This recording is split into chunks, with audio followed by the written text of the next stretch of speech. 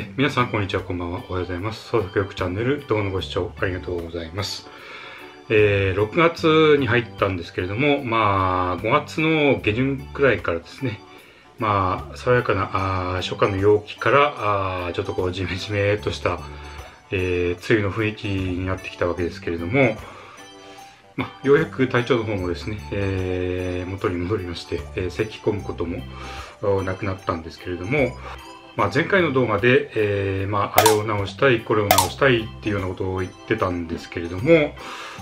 またちょっとジャンク品を仕入れてきてしまいまして、えー、まあ、いつも行ってる、まあ、最近よく行ってるリサイクルショップがですね、えー、6月1日から、えー、オープン時間が、えー、朝の10時になりまして、はい、元はあの11時からだったんですけども、えー、10時からということになってその初日にですね、えー、そのお店に行ってみたらば、えー、まあ玄関入ってすぐのところに、えー、こうワゴンがあってワゴンセールがあったわけですけれどもそこに、え、まあ家電のジャンク品、え、3点で100円というコーナーがあってそこにちょっと引きつけられてしまいまして、えーまあ、あいろいろとまた買ってきてしまったんですけれども、まあ、3点で100円なんで、まあ、欲しかったのが、1、2、3で4点だったんですけど、3点揃わなくても、まあ、1点だけ買っても同じ100円になっちゃうので、まあ、無理やり、えー、2点、うーん、まあ、欲しくもないようなものを一緒に買ってきたんですけれども、まあ、合計で6点になったわけですね。えー6点と、まあ、それ以外に、まあ、ちょっと、また別なジャンク品も、えー、2点。まあ、正確に言うと、こう、ひとまとまりの1点なんでしょうけど、まあ、合計で、まあ、7セットと言いますか。まあ、そんだけ買ってきちゃいました。はい。というわけで、まあ、今回はですね、えー、その買ったものを、とりあえず紹介したいなと思います。はい。まずは、ドン。ドン、ドンということで、えー、こちらあ、ポータブルの DVD プレイヤー3台ですね。えー、まあ3台で一応100円ということになってますけれども、はい、一応3台ともですね、えー、このように電源は入って画面が出るんですけども、えー、まずこれ、これが DVD を読み取りできず NG 全画面で音出ず NG リモコンなし、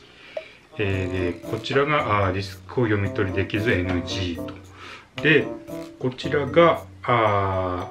DVD、えー、読めるんだけども本体で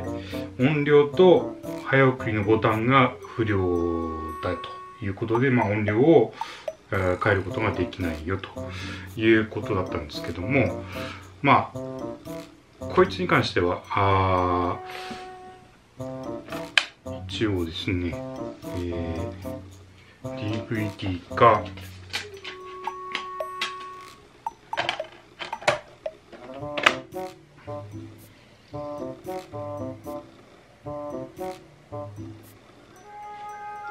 まあ、このように、えー、再生、えー、できるんですけども、で、音量が変わんないということなんですけど、まあ確かにこの、えー、一番この手前側のこの左右が音量なんですけど、これをこう軽くポチポチやると、まあ確かに音量が変わんないんですけど、これをちょっとボタンをグッと押してやると、はい、このように、ちょっと画面の下の方に表示が出てるかなと思うんですけど、ぐっとこう押し込んでやると、のように音量が変わるんですね。はい。しかも、早送り。これも問題なく早送りが、まあ、ちょっと、これはあの、そもそも映像が早いんですけど、まあ、画面の上の方にこう、表示が出てますけど、早送りも早戻しも普通にこれはできますね。はい。なのでこっちのこれに関しては、まあ、全然問題なく使える感じですよねそれからこっちこのプレイヤーに関してはえー、ここをこうパカッと開けると DVD が入れられるんですけれども、えー、このセンターにあるスピンドルですね。ここにこうくるくる回るこうディスクパチッとはめるところなんですけどもここがですね実は外れちゃうんですね。はいこんな感じで、えー、センターのスピンドルのところですね。これが外れちゃうんですね。まあ、このディスクをはめるところが、このモーターの軸にあの接着されてると思うんですけど、それが、あの、まあ、ディスクをはめるときにですね、多分お子さんかなんかが、あ思いっきりこう力入れてはめ込んじゃったときに、このセンターの軸と接着されてるところが剥離しちゃって、えー、それがこう下にガコンとはまり込んじゃって、これはディスクが回転しなくなっちゃってたという感じだと思うんですけど、まあ、これを仮に、えー、外れちゃったスピンドルにこ DVD をパチッとはめてですね、これをこのプレイヤーの中に入れてですね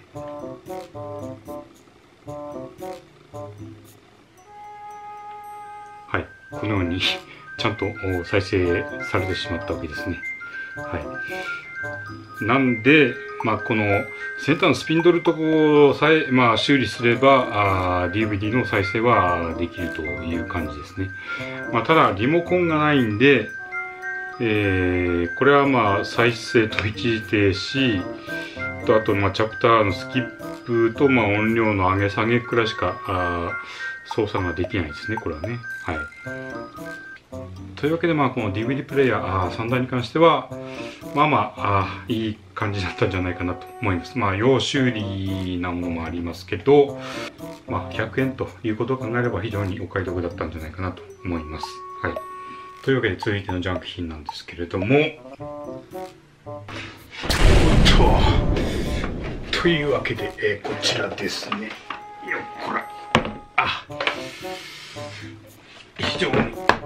でかいものなんですけどあ手が手が真っ黒ですはえー、こちらはですね、えー、ビクターの CD ラジカセですね。はい。まあ、通称ドラム缶と呼ばれたラジカセで、型番が RV の X70 という製品になります。まあ、見た目の特徴としては非常にこうね、ごっつい感じのヘビーダーティーな感じなんですけど、こちらが CD の挿入部ですね。で、こっちの下にあるのが、はい、カセットなんですけれども、まあ、ざっと動作確認した感じでは、えー、CD もカセットもダメで、まあ、ラジオが聴けるくらいかなという状態です。まあ、今回、このワンオンセールでの、まあ、一番の目玉だと思ってるんですけど、これが、まあ、3点で100円になるというゆえんはまあその全くほとほぼ機能的にはラジオしか使えない状態なんでまあ修理の方もちょっと骨が折れるかなと思うんですけど何よりこのラジカセはこの端っこのこの黒い樹脂の部分ですねこれがあおそらく加水分解を起こしていると思うんですが、まあ、とにかくこうベッタベタになってるんですねこの樹脂の部分が。まあこれはあのメーカーも認めていてまあ一時期はここの樹脂とこの音ここに音量の、えー、ダイヤルがあるんですけどこれがかあの完全にベッタベタになっちゃうので、えー、これとこれをまあ無償で交換してくれてた時期もありました。はい、今はもう終わっちゃってるんですけど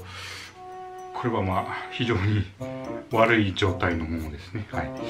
まあとにかく、えー、CD とカセットが聴けるようにはいずれしたいと思います。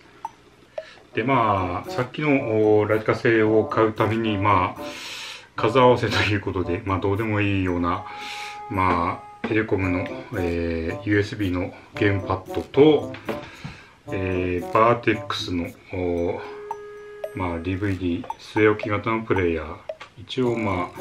あ HDMI 端子もついてますけどまあ正直どうでもいい DVD プレイヤー。はい。で、えー、最後に、えー、ワゴンセール以外で買ったものなんですけどよいしょと。ほいと。よいしょということで、えー、こちらが、え先ほどと同じビクターの DC-5 という、まあ、コンポになるんですけどちょっと下が見切れてるかなと思うんですけどというわけでこちらはまあラジオそれからカセットですね。でその下にはい。こちらレコードプレーヤーがついてるんですね。でまあ値段としては、えー、この本体が100円でこの左右にあるこの、まあ、純正のスピーカーですね。これがあ2個セットで300円でなぜか別々に売られてました。はい。でこの一番下にあるレコードプレイヤーなんですけれどもここにちょっとあの養生テープでこの両端がこう貼ってあるのはまあここは見てわかると思うんですけど完全にこれ欠損してますよねはい。で、これは、ちょっと剥がしますけど、よっ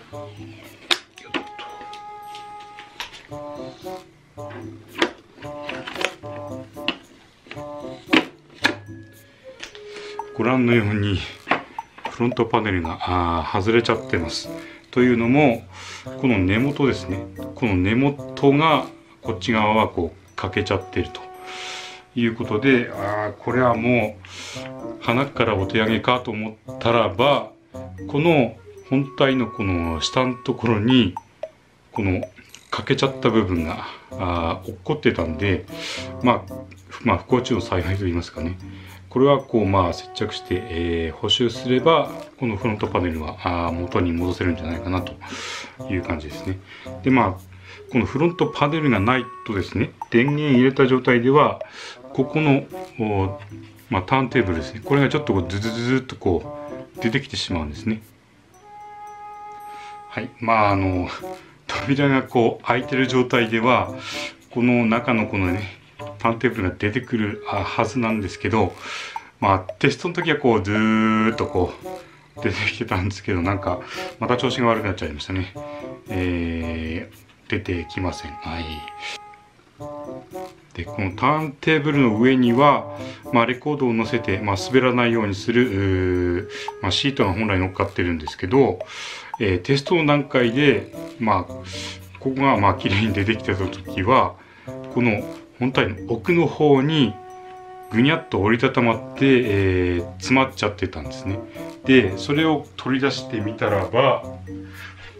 いご覧の通り、えー外周がこうカチカチに固まっちゃって、えー、もうバリバリにひび割れちゃってもうどうしようもない状態ですねはいまあこれは直すに直せないんで、まあ、これはなんかあ別なものかああるいはなんか適当なシートを使って、え